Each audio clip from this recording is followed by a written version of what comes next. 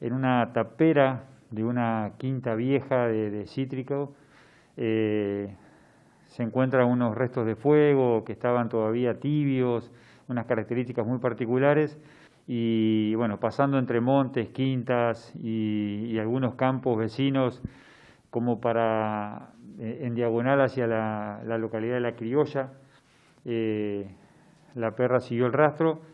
Después un vecino que pasa por el lugar también da aviso de que supuestamente lo habría visto en esa zona se va hasta la zona del puente que pasa, el puente de las vías, eh, del ferrocarril que pasa por debajo de la ruta 14, para que se ubiquen entre ruta 4 y ruta 15, eh, eh, perdón, ruta 22 y ruta 15.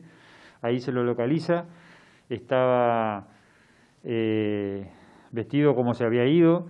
Nos expresa de que estaba por su propia voluntad, fue llevado a una dependencia policial, más tarde trasladado hasta el juzgado para eh, tener una entrevista con el fiscal que interviene en la causa.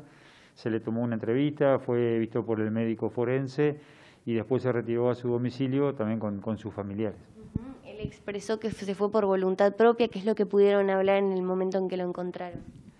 Sí, eh, para resumirlo, eh, él estaba en ese lugar por su propia voluntad, porque era su decisión, tenía una serie de inconvenientes personales, familiares, que lo vamos a resumir en, esas palabras nada más, pero eh, su decisión fue en razón de lo, de, lo, de lo, que él estaba pasando personalmente y familiar, y con, con la familia, con el entorno familiar, con su propio seno. Eh, decidió retirarse y, vivir de esta manera este tiempo y expresó que bueno que estaba pensando cuál era la, la, la situación o la, o la forma de seguir de ahí en adelante.